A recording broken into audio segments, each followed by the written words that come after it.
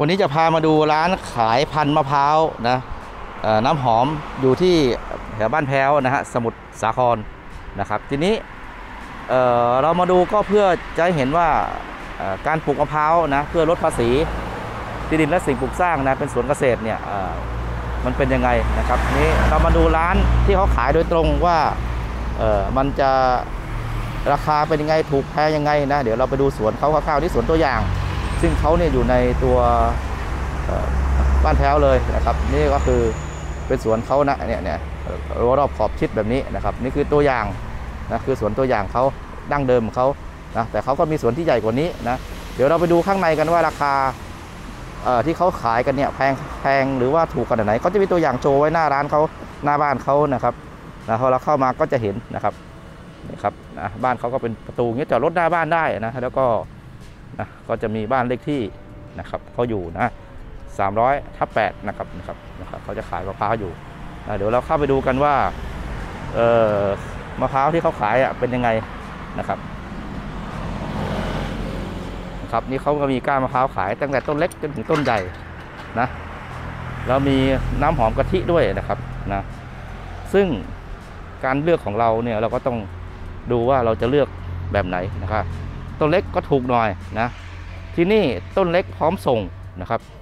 ก็มีขนาดตั้งแต่ 50 บาทขึ้นไปนะเล็กๆเงี้ยก็ 50 บาทนะพร้อมส่ง 50กว่าบาทนะครับ แล้วก็กลางไปหน่อยนะกลางที่เราเห็นอยู่นี่ก็ราคา 65 พร้อมส่งนะครับ ราคาพร้อมส่งแต่มาซื้อมารับเองก็ถูกกว่านี้ประมาณ 50 บาทนะครับ ส่วนถัดไปก็คือราคาต้นหนึ่งก็ประมาณ 85 บาท พร้อมส่งเนาะที่ต้นใหญ่หน่อยนะครับแต่ถ้ามารับเองก็ประมาณ70 บาทนะครับเยอะๆก็อาจจะได้ลดราคาลดลงนะครับฉะนั้นเนี่ยหลายๆท่านอยากจะปลูกต้นไม้นะเพื่ออได้ส่วนลดในภาษีที่ดินและสิ่งปลูกสร้าง ก็ต้องมาหาซื้อพันธุ์มะพร้าวกันแต่จริงๆก็เขาขายตามเว็บไซต์นะดูตาม Facebook นะตามอะไรต่างๆ ก็จะมีปรากฏอยู่นะหลายเจ้าหลายแห่งนี้เรามาดูแล้วมาซื้อด้วยตัวเองเพื่อ ความมั่นใจว่าเราจะได้มะพร้าวน้ำหอมของจริง ตรงตามที่เราจะต้องปลูกนะครับ คือ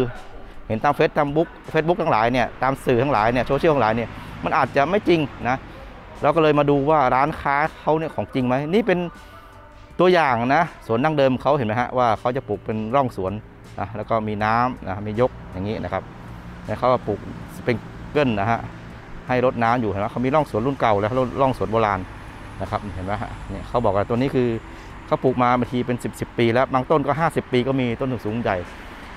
ส่วนการปลูกนะครับ ปลูกตรงปลูกเอียงก็เอาที่สะดวก แต่เจ้าของสวนเขาบอกปลูกตรงง่ายกว่า เป็นง่ายกว่า แล้วก็ต้นลำต้นสวยกว่านะครับ แล้วก็ออกลูกดีกว่านะครับ ส่วนถ้าปลูกเอียงมันก็คลาสสิกไปอีกแบบหนึ่งนะครับปลูกปลูกเอียงเนี่ยถามหลายๆคนเขาบอกว่าปลูกเอียงเนี่ยจะขึ้นยากตายง่ายนะเราต้องรดน้ำต้องดูแลให้ดี นะครับ ก่อนจะออกดอกออกผลทีนี้นะครับนะฮะ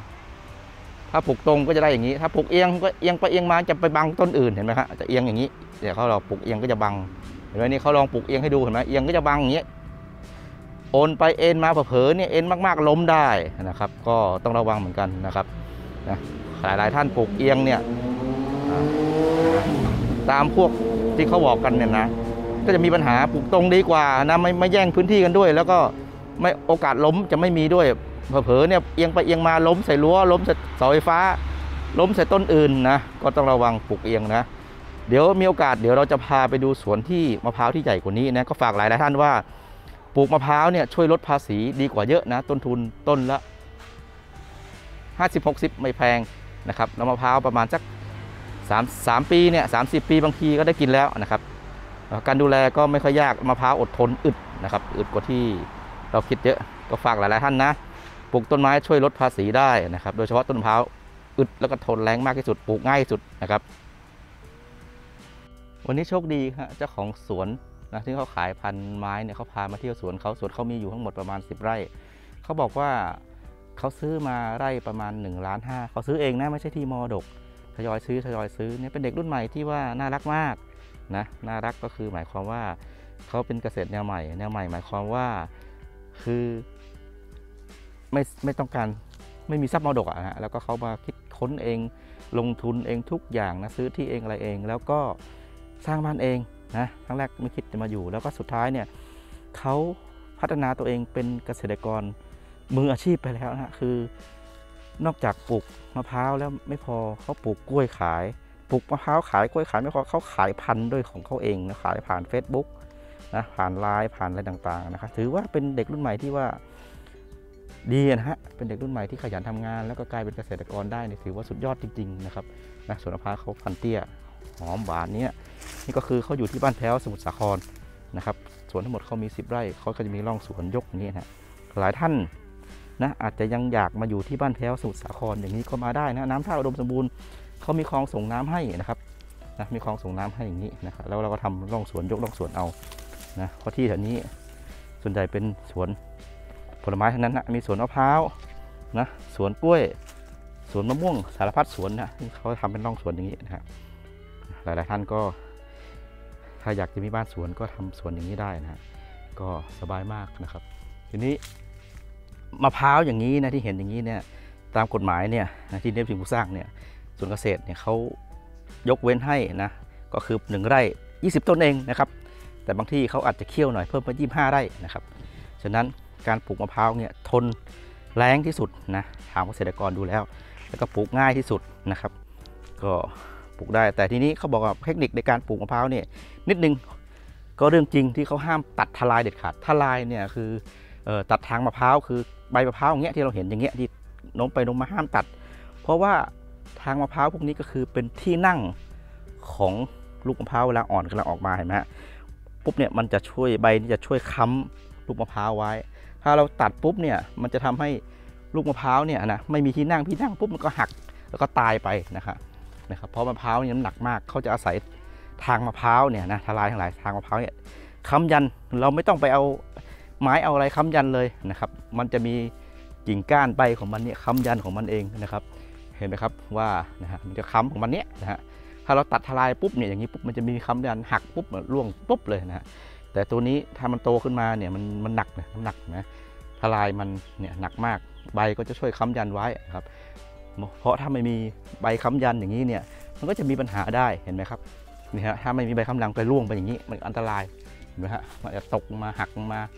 นะอาจจะไม่เป็นก็ได้เห็นไหมครับบางอันมีทลาย แล้วก็มีค้ำยันก็ยังอยู่ได้อยู่นะครับ ฉะนั้นอย่าตัดทางมะพร้าวหรือใบมะพร้าวทิ้งเด็ดขาด เว้นแต่จำเป็นเช่น อย่างนี้ที่เขาตัดเพราะว่าหนึ่งมันไปบังทิศทางในการรดน้ำเขาสปริงเกิลของเขานะครับเขาเลยจำเป็นต้องตัดแล้วของสองก็ตัดเพื่อให้โล่งนะครับนะครับ ก็ปลูกไว้นะฮะสวนมะพร้าวนี้ลดภาษี แล้วสวนนี้ดีอย่างที่เราเห็นเนี่ยนะเห็นไหมครับเวลาเห็นที่เขาปลูกเนี่ยนะ รอบข้างที่เขาปลูกอยู่นี่เขาเดินอยู่นี่ที่เราเห็นนี่นะฮะเนี่ยเขาปลูกเพาะเมล็ดไว้นะครับเห็นไหมเมล็ดเขาเห็นไหมนี่ครับพันเมล็ดทั้งนั้นนะฮะนะครับนี่เขาเพาะลูกมะพร้าวไว้ขายนะฮะที่เราเห็นเนี่ยนะฮะเห็นไหมตลอดแนวนี่คือเขาเพาะลูกมะพร้าวไว้ขายนะครับ ก็แสดงว่าเขาทำจริงขายจริงนะเพาะจริงนะไม่ได้ว่าเออขายเฉพาะหน้าร้านอย่างเดียวเนี่ยคือ เราได้มาซื้อ มะพร้าวจากเจ้าของสวนโดยตรงนะครับมะพร้าวก็โตพร้อมเก็บขายนะครับบอกมะพร้าวขายราคาดีนะมะพร้าวน้ำหอมน้ำหวานนะครับ ฝากหลายๆท่านว่านะปลูกมะพร้าวช่วยลดภาษีได้ อย่างน้อย 20 ต้นนะครับนะครับ ก็สวนเขาก็น่ารักดีนไหมฮะมีต้นไม้บางทีเขามีเปรมานอนเล่นนะมีความสุขนะคือคนที่ทำสวนเนี่ยจะรู้สึกเลยว่าชีวิตมีความสงบสุขนะฮะเห็นไหมฮะมานอนเล่นได้อะไรได้ก็สบายสบายนะครับ นะฮะเขาก็มีเปรนอนด้วยนะครับ แล้วเขาก็จะมีไม้นะแล้วก็มีเขาเรียกว่าทางปูนที่ว่าจะเดินข้ามไปได้แต่ละอันนะครับนะครับ ก็ฝากนะปลูกต้นไม้ลดภาษีนะมะพร้าวอย่างนี้25ต้นนะครับ